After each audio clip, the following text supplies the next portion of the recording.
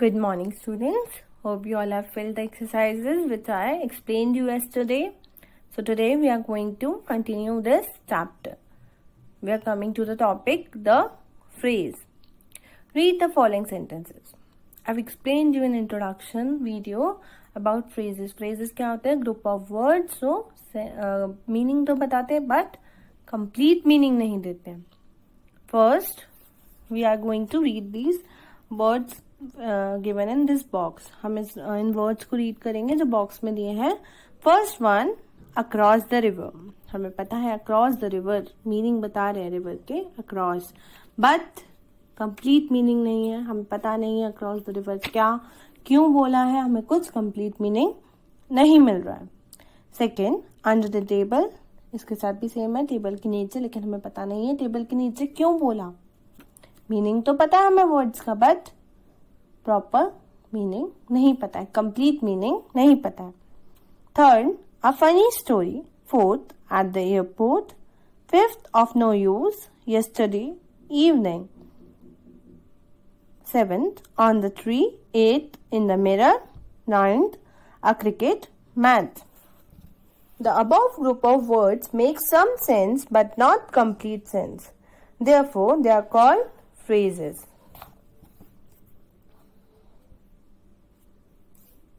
We're going to read this define.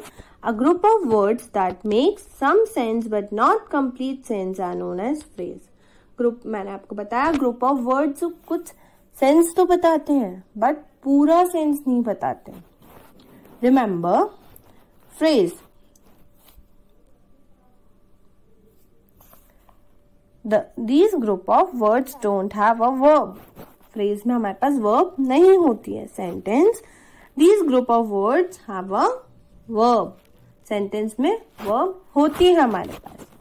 Remember that just any group of words cannot be described as a phrase. A phrase must have some sense. कोई भी group of words को हम phrase नहीं बोल सकते phrase में जो words लिखे रहते हैं उनका एटलीस्ट मीनिंग निकलता है for example play the hockey not a phrase ये फ्रेज नहीं है क्योंकि हॉकी हम नहीं खेलते हैं नेक्स्ट क्या लिखा अ हॉकी मैच हमने एक हॉकी का मैच खेला। ये फ्रेज है हमें इसका मीनिंग मिल रहा है। A phrase can be formed into a sentence by adding something meaningful to it. For example, हम फ्रेज में अगर कुछ मीनिंगफुल ऐड कर दें तो वो एक सेंटेंस में फॉर्म हो जाता है। आपको एग्ज़ाम्पल यहाँ पे एग्जाम्पल्स दिए हैं कुछ।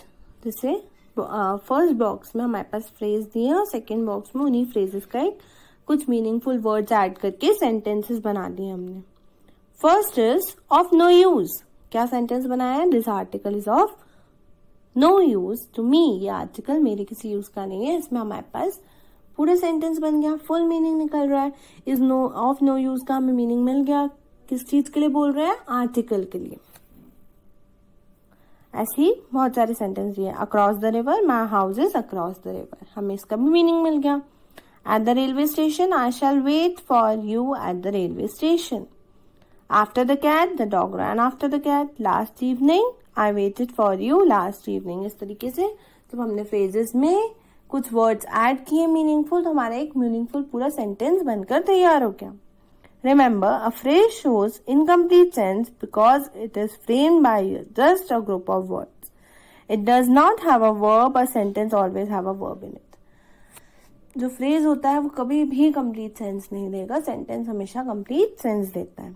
Coming to exercise make complete sentences by using the following phrases one has been done for you at the airport हम इसमें कुछ ऐड करेंगे वर्ड्स को, जिससे मीनिंगफुल सेंटेंस बन जाए। जैसे फ़र्स्ट में हमने क्या ऐड किया है? I will receive you at the airport at the airport का मीनिंग नहीं निकल था, लेकिन जब हमने उसमें कुछ वर्ड्स ऐड किए आई विल रिसीव यू मैं तुम्हें रिसीव करूँगा एयरपोर्ट से। Second yesterday morning I waited for you yesterday morning मैंने वेट किया तुम्हारा येस्टरडे कल मॉर्निंग में। Third a football match they won a football match fourth behind the bushes frog is behind the bushes top of the building she resides on the top of the building sixth in the park. I met her in the park. So next, the clause. A clause can be defined as a group of words that forms part of a sentence and contains a subject as well as predicate. जब मैंने आपको introduction दिया था इस chapter का तो मैंने आपको अच्छे से एक्सप्लेन किया था कि क्लॉज क्या होता है क्लॉज में जो सेंटेंस होता है एक तो उसका प्रॉपर मीनिंग मिलता है और उसमें सब्जेक्ट और प्रेडिकेट दोनों होते हैं। अब अपन लोग एक बार बुक में से भी रीड कर लेते हैं। बुक में क्या दिया है? For example the king sat on a throne of silver और in other words we can write the same sentence as follows the king sat on a throne the throne was made of silver अपन को एक example दिया है। The king sat on a throne of silver इस sentence को फिर हम और भी वेज से लिख सकते हैं। वो लिखे। हैं अब उन सेंटेंस में हम देखेंगे सब्जेक्ट और प्रेडिकेट क्या है। There is a subject king king subject क्या होता है जिसके बारे में हम बात करते हैं? तो इसमें हम किसके बारे में बात कर रहे हैं? किंग के बारे में। और क्या बात कर रहे हैं? Sat on a throne king sat on a throne king बैठा है थ्रॉन पे। तो हमारा प्रेडिकेट क्या हुआ? Sat on a throne in the first sentence there is a subject throne and a predicate made was made of silver second वाले sentence में हम थ्रॉन के बारे में बात करें तो हमारा सब्जेक्ट क्या हुआ? थ्रॉन और प्रेडिकेट क्या हुआ? Was made of silver secondly each sentence makes complete sense by itself और जो सेंटेंस uh, देखे हमने एक जो फुल सेंटेंस था उसमें से हमने दो सेंटेंस फॉर्म किए।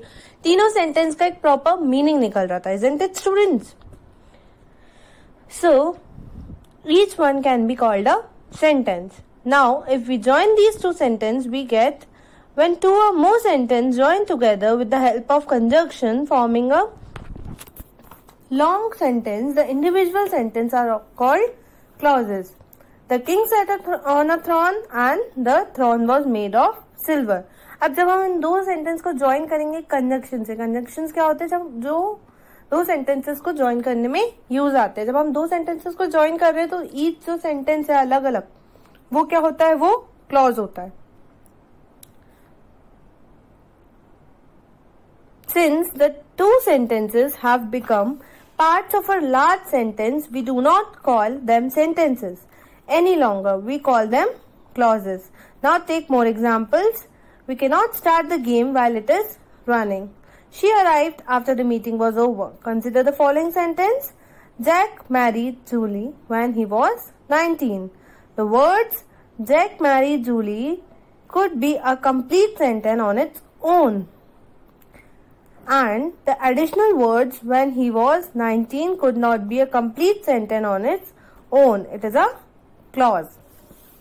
अच्छा वेन ही वॉज़ नाइनटीन का हमें मीनिंग पता पड़ रहा है कि जब वो नाइनटीन का तो ये क्लॉज है हमें मीनिंग पता पड़ रहा है लेकिन जैक मैरिड जूली इसमें हमें कंप्लीट मीनिंग पता पड़ रहा है तो ये हमारा क्या है सेंटेंस है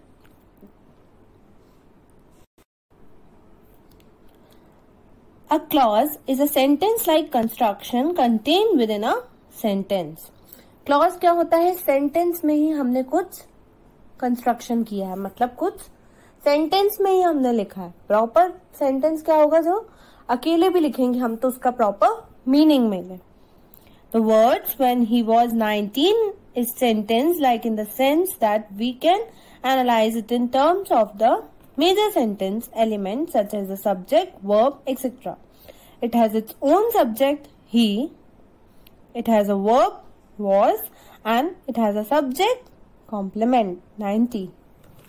अब जो ये सेंटेंस है 90 अब जो ये सेंटेंस है, हमने अलग से इसको देख रहे हैं वेन ही वॉज़ नाइनटीन ये क्यों है क्लॉज क्योंकि इसके पास खुद का एक सब्जेक्ट है. ही वर्ब भी है उसके पास वॉज़ और एक सब्जेक्ट भी है. कॉम्प्लीमेंट भी है. वो क्या है? 19 सो डेफिनेशन हम रीड करेंगे.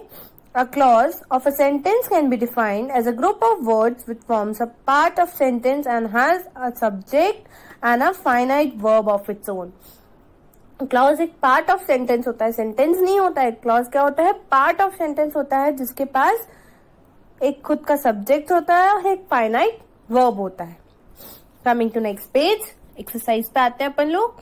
Working zone write the following words in proper order to make complete sense one has been done for you put full stops and capital letters wherever required अब आपको ये जो सेंटेंस uh, दिए हैं आपको एक प्रॉपर ऑर्डर में लगाना है और कैपिटल लेटर्स और फुल स्टॉप वगैरह, जहाँ पर भी जिसकी रिक्वायरमेंट है, आपको वो लगाना है। First sentence love to I ice cream eat इसका कोई सेंस नहीं निकल रहा, हम इन वर्ड्स को रीअरेंज करेंगे सेंटेंस फॉर्म करने के लिए। फ़र्स्ट आई फ़र्स्ट वर्ड है हमारा सेंटेंस का, और लेटर भी फ़र्स्ट ही है तो ये कैपिटल होगा। Love to eat ice cream second the king the lion the is of jungle इसका हम रीअरेंज करके क्या सेंटेंस बनाएँगे the lion is the king of the jungle next one train rails the runs on we will rearrange these words the train runs on rails next one nest build birds there in trees birds build their nest in trees next six a has sides hexagon. A hexagon has six sides. Okay students, coming to next exercise. Given below are some of some groups of words. Write S for a sentence and P for a phrase. आपको कुछ group of words दिए हैं इस exercise में। जो sentence है, उसके आपको बॉक्स में एस लिखना है और जो फ्रेज है, उसके बॉक्स में आपको पी लिखना है। चलिए फ़र्स्ट सेंटेंस को हम रीड करते हैं। The dog is sitting under the table हमें प्रॉपर मीनिंग मिल रहा है। The dog is sitting under the table dog table के नीचे बैठा है। तो ये हमारा क्या है? Sentence next one the bird is flying ये भी हमारा क्या है? Sentence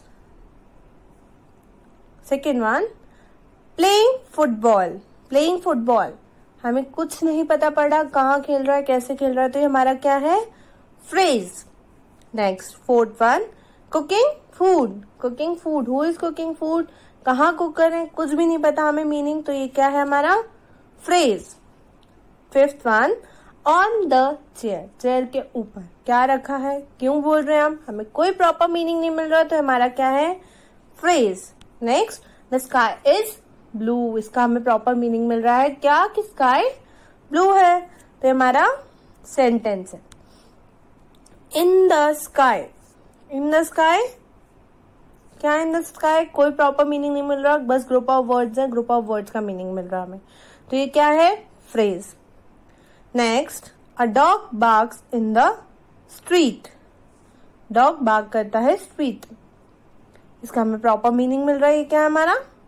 Sentence next the tea is in the cup tea किसमें है? कप में. हमें प्रॉपर मीनिंग मिल रहा है। तो क्या है? Sentence tenth one behind the tree means tree के पीछे. हमें इसका प्रॉपर मीनिंग मिल रहा है। तो ये क्या है?